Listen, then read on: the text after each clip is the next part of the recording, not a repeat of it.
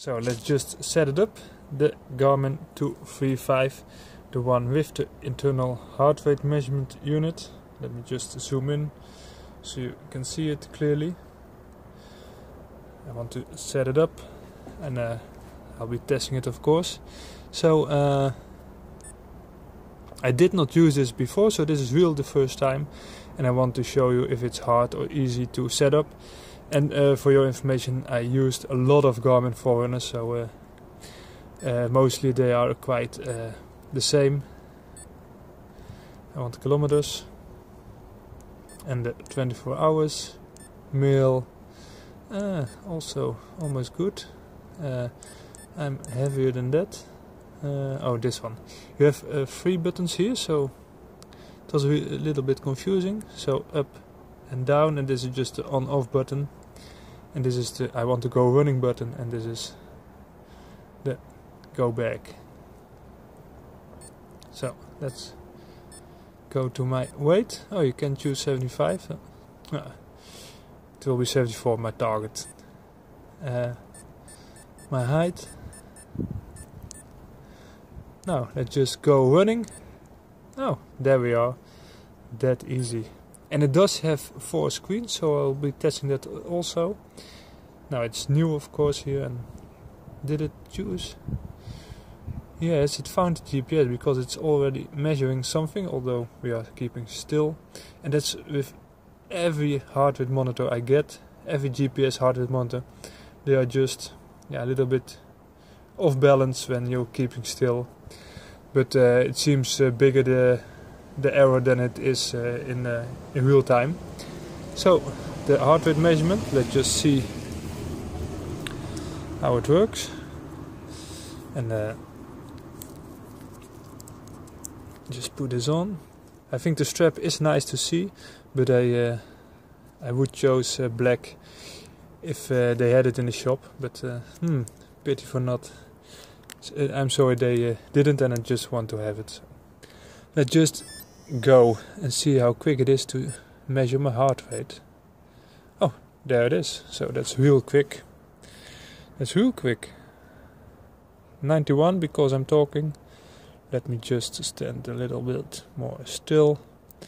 Then it should uh, go down and not up. So let's just see what happens.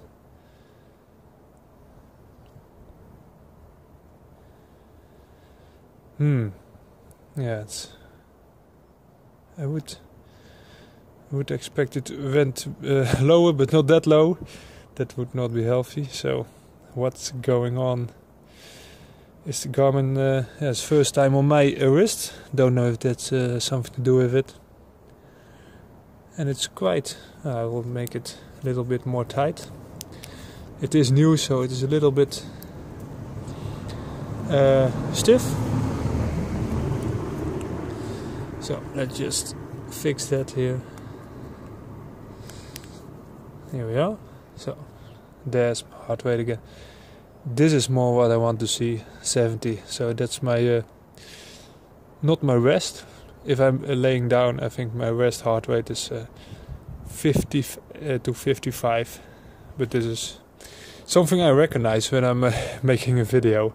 So let's just uh, check some more screens. So it says says the heart rate zone is uh, gray, so low time.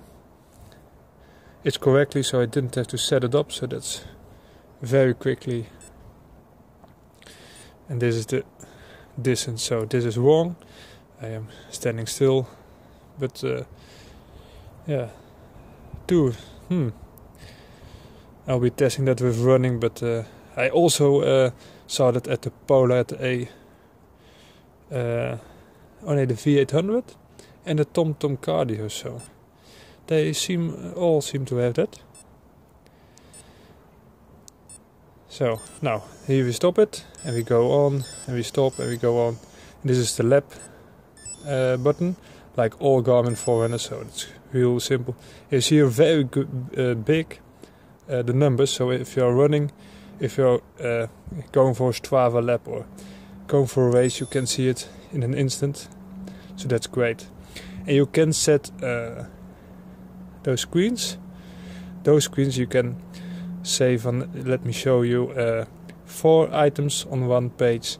To just one item if you want to see only your heart rate or your speed or your time. So it's quite an handy.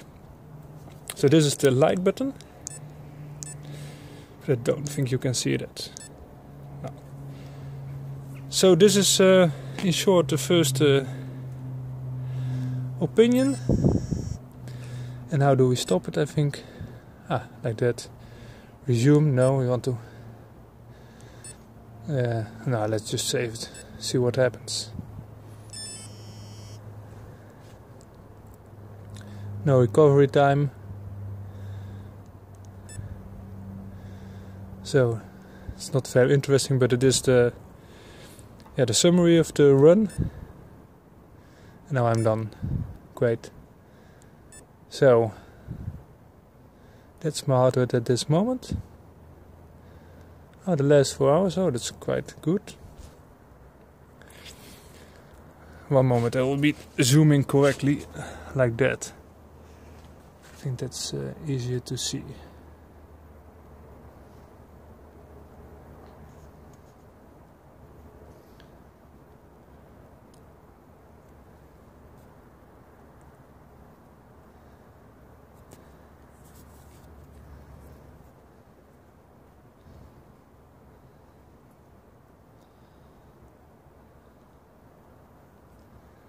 Now I've been making a new video because uh, something's going wrong. Sorry.